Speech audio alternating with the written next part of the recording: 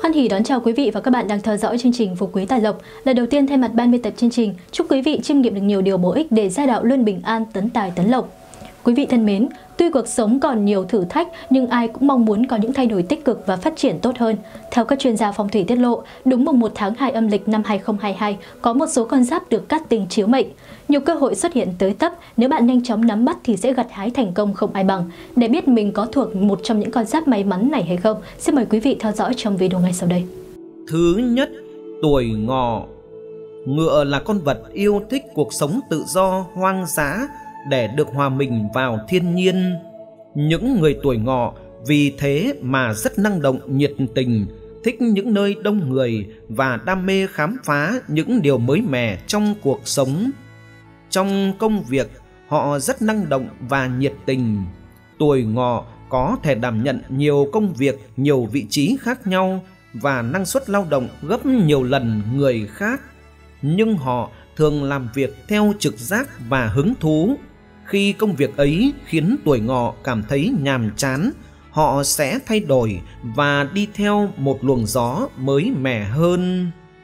Theo các chuyên gia phong thủy, năm nhâm dần 2022 là năm rất đáng mong chờ của những người tuổi ngọ khi mà hầu như mọi giấc mơ của họ đều sẽ trở thành hiện thực và mỗi bước đi trong năm nay của họ đều sẽ ghi dấu ấn của thành công. Từ vi học có nói, ngay trong ngày mùng 1 tháng 2 này, tuổi ngọ với sự thông minh nhanh nhẹn và sắc sảo của mình càng trở nên hoạt bát hơn. Họ là những người độc lập trong cuộc sống, không bao giờ dựa dẫm ỉ lại vào bất kỳ ai. Bất kể là việc gì, dù đơn giản hay phức tạp, tuổi ngọ đều là người đầu tiên hoàn thành nhiệm vụ. Khả năng thuyết phục và gây ảnh hưởng của họ cũng lớn hơn, nên công việc ngày một bận rộn với nhiều dự án tiềm năng. Họ sẽ đi công tác suốt ngày, tiền bạc đầy lên thấy rõ, nhưng cần chú ý chuyện gia đình kẻo mang tiếng trành màng. Thứ hai, tuổi mão. Tuổi mão đại diện cho những con người thông minh, mưu trí, nhanh nhẹn và có con mắt tinh tế, nhìn xa trông rộng. Người tuổi này rất tốt bụng, nhiệt tình và luôn sẵn sàng giúp đỡ những người gặp khó khăn. Họ có khả năng thích nghi với hoàn cảnh, chịu đựng những áp lực của công việc, cuộc sống. Rất nhiều người yêu quý tuổi mão bởi sự cởi mở tốt tính của họ. Tuổi mão nếu giúp đỡ người khác sẽ rất nhiệt tình, giúp đỡ hết mình, không bao giờ cầu lợi cho bản thân. Năm nay được cho là một năm của nhiều sự thay đổi trong cuộc sống của người tuổi Mão. Tuy nhiên, sự thay đổi này sẽ diễn ra từ từ và có liên quan đến chuyện đầu tư, tài lộc đất đai cũng như các cơ hội về việc làm. Với những người tuổi Mão, họ không phù hợp cho những sự liều lĩnh, vì thế hãy cứ đi chậm mà chắc thì sẽ là tốt nhất. Đúng ngày mùng 1 tháng 2 này, theo các chuyên gia phong thủy, nguồn năng lượng của tuổi Mão đang dần tích tụ và trở nên dồi dào hơn. Chính là lúc họ nên bắt tay vào công việc. Đây là một thời điểm họ rất bận rộn với các dự án, nhưng hãy đảm bảo các lựa chọn của họ đều được cân nhắc kỹ càng thì khả năng thành công sẽ nằm trong tầm tay. Thứ ba, tuổi dần. Theo các chuyên gia phong thủy, năm nhâm dần 2022 sẽ là một năm rất khó quên vì nó đánh dấu nhiều sự thay đổi ngỡ ngàng với cuộc sống và sự nghiệp của những người tuổi dần. Nhiều người cho rằng năm tuổi là một năm khó khăn và mất nhiều hơn được. Nhưng thực ra, năm tuổi sẽ mang đến cho tuổi dần cả thách thức và những cơ hội và ai là người biết nắm bắt thì người ấy sẽ gặt hái được nhiều thành công. Từ vi học có nói, giữa mùa xuân này, tuổi dần sẽ có bước ngoặt trong sự nghiệp cũng như công cuộc kiếm tiền. Ngay từ tháng 2, họ đã bận rộn với rất nhiều dự án đầu tư khởi đầu năm mới. Tuổi dần được khuyên nên tính toán kỹ, thận trọng trong từng bước. Có một điều cần lưu ý, giai đoạn này là lúc mà tuổi dần có thể sẽ bị mất tập trung vì vận đào hoa của họ cũng đang nở rộ. Chuyện tình cảm có thể xen vào giữa công việc.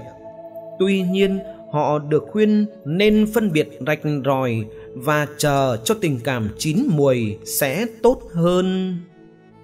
Đặc biệt, nếu như chuyện tình cảm, cơm không ăn, gạo còn đó, thì công việc quan trọng ở tính thời điểm.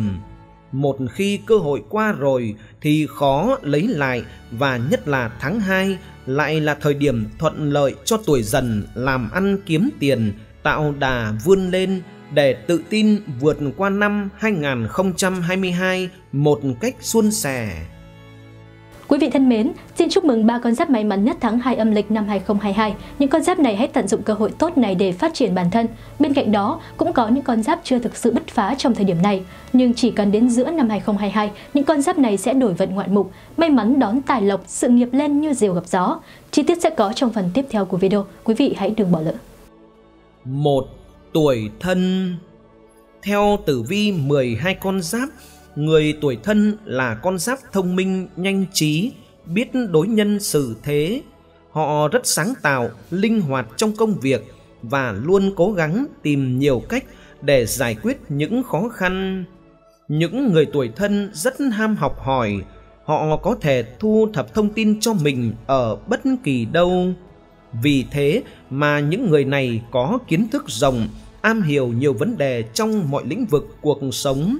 Họ thích được tự do, đi du lịch và trải nghiệm những điều mới mẻ, thú vị xung quanh mình. Trong những tháng giữa năm 2022, người tuổi này được dự đoán sẽ có sự nghiệp hanh thông, thuận lợi hơn trước. Con giáp may mắn được cấp trên đồng nghiệp tạo điều kiện để phát huy khả năng. Khi có vấn đề gì, tốt nhất người tuổi này nên thảo luận với đồng nghiệp cấp trên để tìm hướng giải quyết. Khi đối diện với khó khăn, thử thách, tuổi thân luôn thể hiện một ý chí quyết tâm cao và sự tự tin của mình. Họ độc lập giải quyết công việc mà không cần đến sự giúp đỡ của người khác. Con mắt tinh tế nhìn xa trông rộng sẽ giúp họ lường trước được tất cả mối nguy hiểm ở trước mắt. 2. Tuổi Tý Theo tử vi 12 con giáp, người tuổi Tý tính tình thật thà, ngay thẳng. Họ nhận được nhiều thiện cảm từ mọi người nhờ tinh thần lạc quan. Thời gian gần đây, công việc của họ khá căng thẳng, bận rộn. Giữa năm nay, con giáp tuổi Tý đã tiến hành sắp xếp phân bổ lại lượng công việc của mình.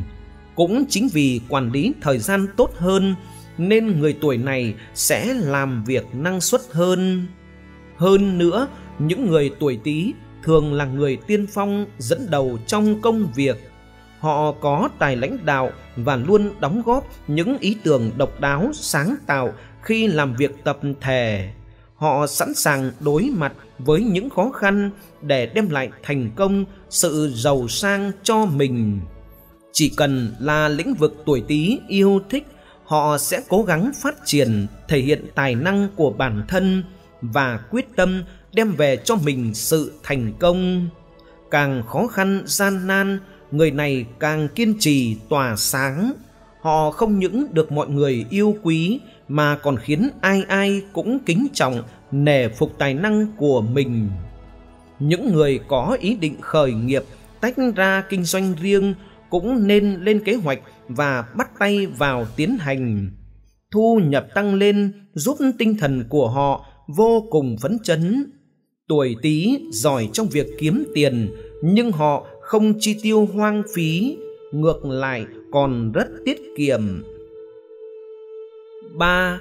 Tuổi Mùi Theo tử vi 12 con giáp, người tuổi Mùi đa phần thường trầm tính, ít nói, làm nhiều.